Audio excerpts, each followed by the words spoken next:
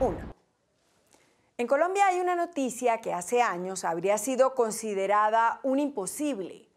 Excombatientes de las FARC exportarán las primeras 22 toneladas de café orgánico y de alta calidad. La meta que tienen es exportar este año 200 toneladas de café que es cultivado por los desmovilizados de las FARC en el municipio de Dolores, en el Tolima.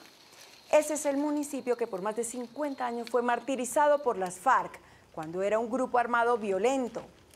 Esta es de las más grandes negociaciones que acaba de realizarse en la mesa técnica del café que encabeza la Agencia para la Reincorporación y la Normalización. Este es el modelo asociativo creado para dar fuentes de empleo a los excombatientes. Se vincularon 10 asociaciones cafeteras del sur del Tolima con más de 400 personas.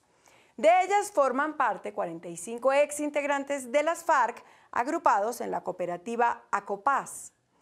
La compañía internacional Loujas Beans, que hace la compra, les entregó certificación de buenas prácticas y el sello de café orgánico, una de las insignias más representativas dentro de la industria cafetera mundial.